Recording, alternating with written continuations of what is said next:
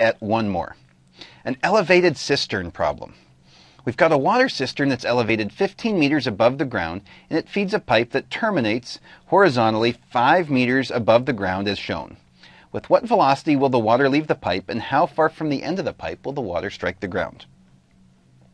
Well, the first thing I'm going to do is try and come up with a strategy here. I think I can use Bernoulli's principle to find the velocity of the water right here at what we'll call point 2, and then it becomes a projectile problem as to where it's going to land.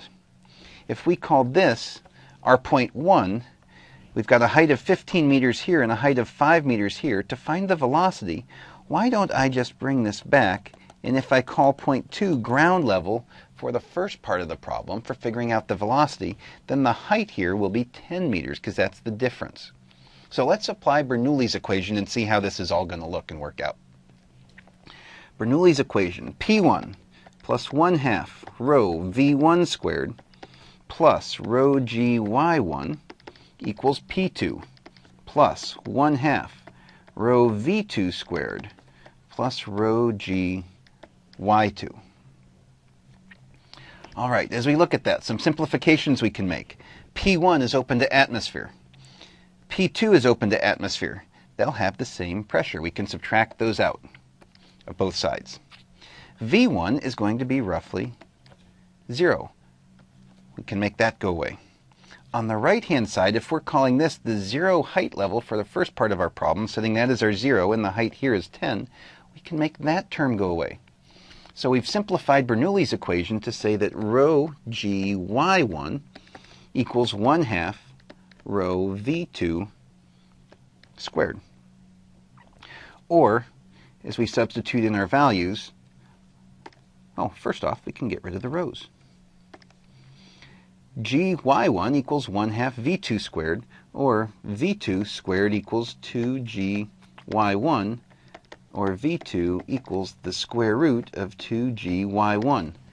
Notice how similar that looks. v equals square root of 2gh, the conservation of energy we found, uh, value we found in order to determine how fast something's moving after it's been dropped some, uh, some distance.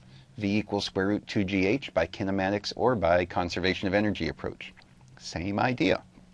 So V2 will be equal to the square root of 2 times g, 10 meters per second squared, times y1, 10 meters, or square root of 200, that's about 14.1 meters per second. So our water is going to be leaving the pipe down here with the horizontal velocity of 14.1 meters per second.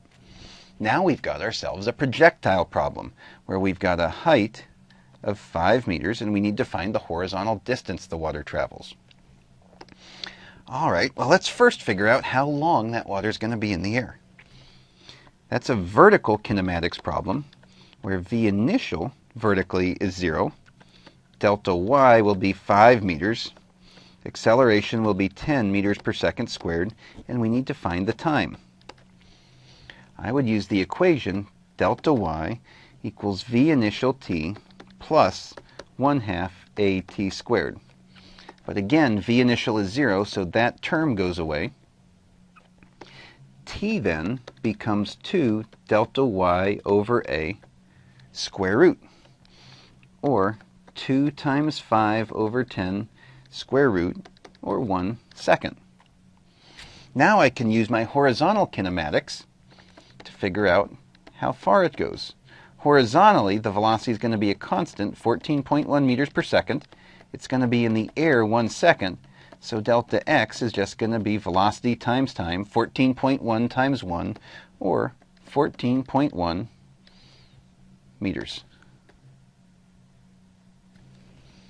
Putting a couple of these concepts together in order to get a big picture solution. All right, hopefully that gets you a great start with Bernoulli's principle and Bernoulli's equation. Thanks for watching. Make it a great